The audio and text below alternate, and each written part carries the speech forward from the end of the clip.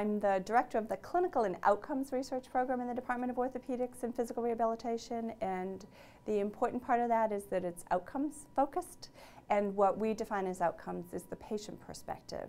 Um, so their, their assess, personal assessment of pain in an arthritic joint and the function and how it's affected by that arthritic joint. So the research that we're running right now is all uses patient with standardized measures in the clinic and in our research studies that um, where the patient tells us how much pain am I having in my knee or hip that's affected with arthritis, how much, um, and how does this impair my function.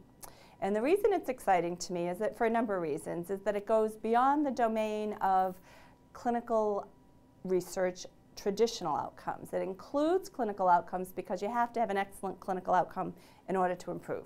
So the assumption in orthopedics is that it, especially in total joint replacement, that it's a mature procedure. The implants are very advanced. The surgeons are skilled.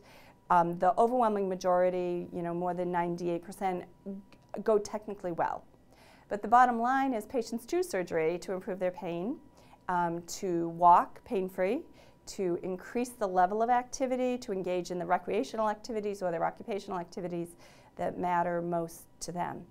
And so that's why when we say it's clinical and outcomes research, that we go beyond the clinical research of an excellent implant to an outcome that's important to the patient. We just received a $12 million award from the Agency for Healthcare Research and Quality to build at UMass Medical School a national repository of patient outcomes.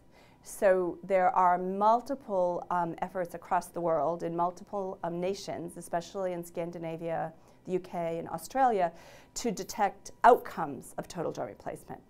But all of those initiatives are focused on the clinical definition, and that is, was the metal implant um, successfully implanted in the patient's knee or hip? And if so, how long does that last, and when is it removed? So is it removed in two years, in 10 years, in 15 years?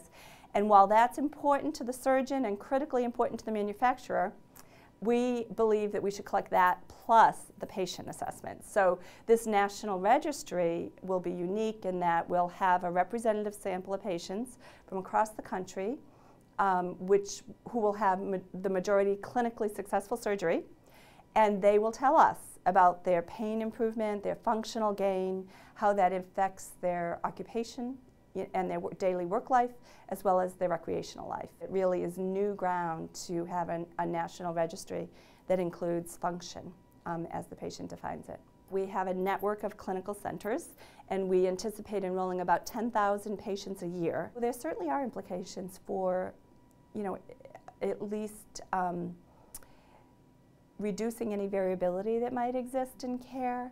Uh, you know, we already know it's a fairly successful operation, but we're really looking at what we were describing to you is any variability that might exist in subgroups of patients and then would want to eliminate any of that variation and, and assure that everyone gets a great outcome.